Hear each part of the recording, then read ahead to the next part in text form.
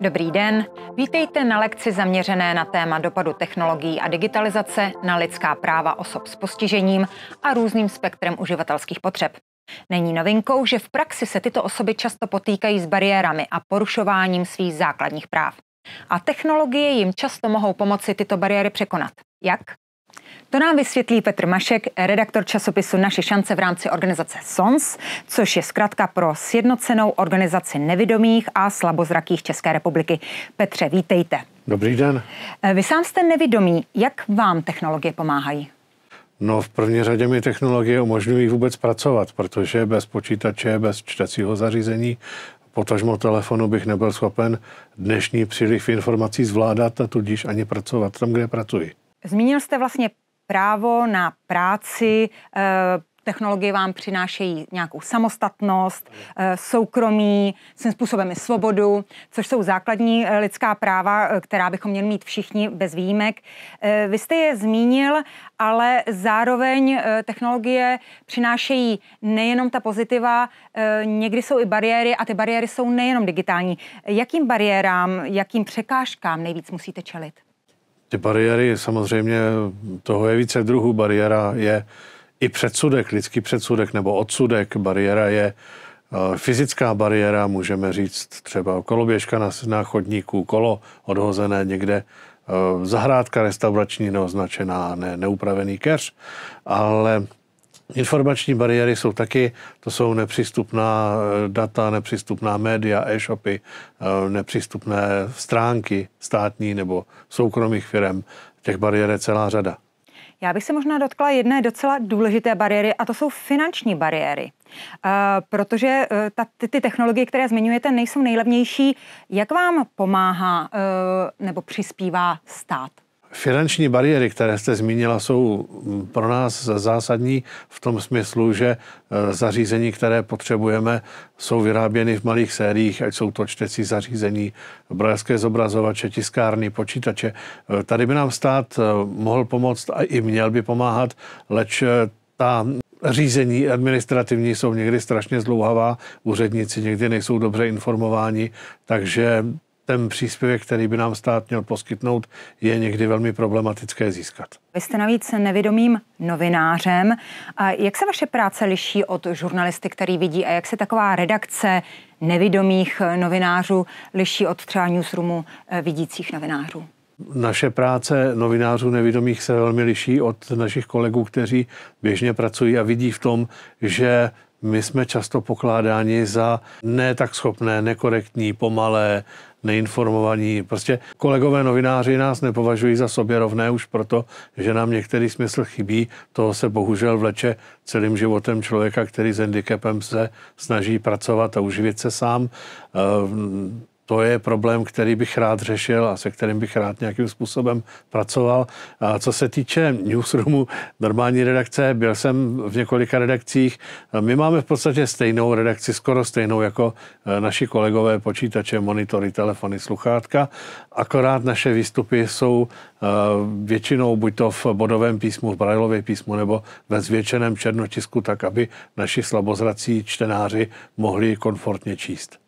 Petře, co byste doporučil novinářům, ať už budoucím studentům nebo těm, co jsou v praxi, co by měli změnit, aby jejich mediální produkce byla přístupná i vám, eh, kde můžou najít nějakého pomocníka? No budu rád, když budou mít na zřeteli to, že ne všichni jejich odběratelé, posluchači, čtenáři jsou stoprocentně zdraví, vidící, slyšící. To znamená s tímhle ohledem, kdyby ta svá média e, přizpůsobovali, samozřejmě nejlepší je zkušenost to a my máme, co se týče zrakově postižených, celou škálu možností, jak eh, novináře, studenty nebo i praktikující žurnalisty eh, navést a nebo jim poradit. Eh, tady bych rád zmínil naše stránky www.sons.cz lomeno Zora, to je přímo náš časopis, nebo v Brněnské, Brněnskou Masarykovou univerzitu tam je společnost Teiresias, tam velmi dobře pracují, odborně pracují a i my v Praze na Sons máme spoustu odborných pracovišť, kde můžeme poskytnout žurnalistům spoustu přínosných informací. Petr je jedním z více než milionu osob se zdravotním postižením, kteří podle odhadů Českého statistického úřadu žijí v Česku. Přibližně 10% naší populace má nějaké zrakové, sluchové, tělesné nebo jiné zdravotní postižení. Seniori i lidé s postižením mají stejná práva a životní potřeby jako kdokoliv jiný. Chtějí žít ve svých domovech, rozvíjet se, případně i vzdělávat nebo pracovat a být sobě stační. A v tom jim mohou pomoci digitální a jiné moderní technologie, které ovlivňují ve stále větší míře každodenní život v současné společnosti. Nicméně i zde je třeba zvažovat určitá rizika, která mohou při jejich využívání nastat. Nejčastějšími riziky pro takové skupiny lidí je sociální a ekonomické vyloučení, pokud nemají k dispozici dostatečné digitální nástroje nebo potřebné dovednosti. Dalšími obecnými riziky potom v oblasti lidských práv při používání nových technologií může být taky narušení soukromí, může to být únik osobních nebo nějakých důvěrných eh, informací. Potom v případě například kybernetických útoků se může jednat i o ohrožení národní bezpečnosti, stejně jako v extrémním případě při dopadu intenzivní dezinformační vlny nebo při manipulaci s informacemi. Rizika toho negativního dopadu na lidská práva ale přináší také automatizované rozhodnutí případně nevhodnými algoritmy. Tam může být v ohrožení nejenom ta lidská důstojnost nebo soukromí, ale i právo na nediskriminaci a nebo na spravedlivý proces. My mluvíme o těch negativních dopadech technologií na lidská práva, ale o jakých lidských právech vlastně mluvíme a je nějaký uzavřený výčet lidských práv?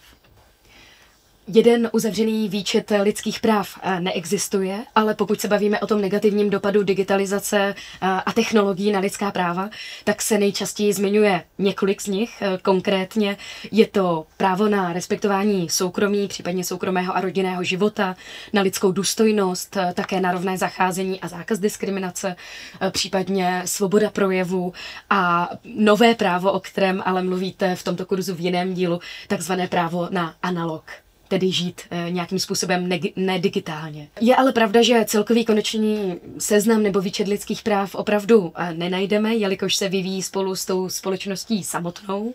Nicméně v nějakém základu je postupně definují základní mezinárodní dokumenty i vnitrostátní předpisy.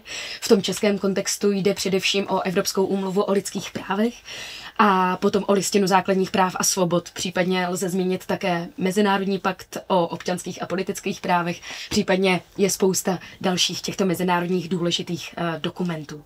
Všechna tato lidská práva mají společné to, že jsou právy přirozenými, základními. To znamená, že lidé si jsou v těchto svých právech e, rovni a také ve své důstojnosti. E, Listina základních práv a svobod dokonce hned ve svém prvním článku říká, že tato základní práva a svobody jsou takzvaně nezadatelné, nescizitelné, nepromlčitelné a nezrušitelné. To znamená, že si jich nelze vzdát, nelze je prohlásit za neplatné, například ze strany státu, nelze o ně zkrátka přijít. Jsou trvalé a jsou pro všechny. V březnu 2021 eh, jsme v rámci norsko-českého projektu, který se jmenoval Digitální doba s lidskou tváří, eh, pracovali s lidmi eh, se zrakovým a sluchovým postižením a ti například říkali, že v době pandemie COVID-19 k ním informace se dostávala velmi těžce, velmi omezeně. Například uživatelé znakového jazyka si stěžovali na to, že některá opatření zdravotní vůbec se k ním nedostávala, což je ohrožující nejen pro jejich zdraví, možná i život, život, ale omezuje to jejich lidská práva. Když k takovému nějakému e, narušení dochází, můžou si stěžovat? Kde si můžou stěžovat? Určitě se mohou obrátit na obecné české vnitrostátní soudy a pokud by nebyli spokojeni s tím výsledkem, tak eh, mohou tou soudní eh, soustavou projít vlastně až k ústavnímu soudu.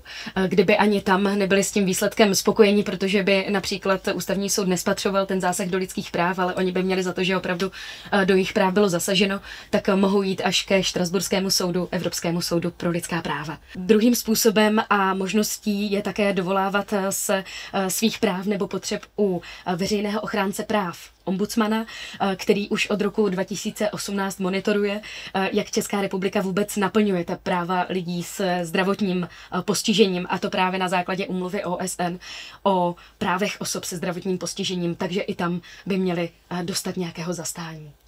V tomto díle jsme viděli pohledem lidských práv, jak mohou technologie pomoci lidem s postižením a jaká naopak, a nejen pro ně, skýtají rizika. Ujasnili jsme si, jak to je s lidskými právy. která jsou nejvíc porušovaná rostoucí digitalizací a využitím technologií a co dělat, když jsou tato vaše práva porušována. Díky za pozornost a na viděnou v dalším díle.